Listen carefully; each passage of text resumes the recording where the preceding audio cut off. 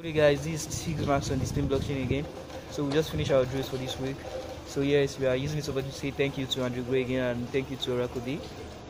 So we are hoping to hear from you guys after watching our new drills. We want to hear your comments. We want to see what the improvement is and what we need to work on. So I'm trying to use this opportunity, this chance to tell you guys again. I'm going to start starting a new mini academy with this my neighbors too. I'm going to start working on drills too.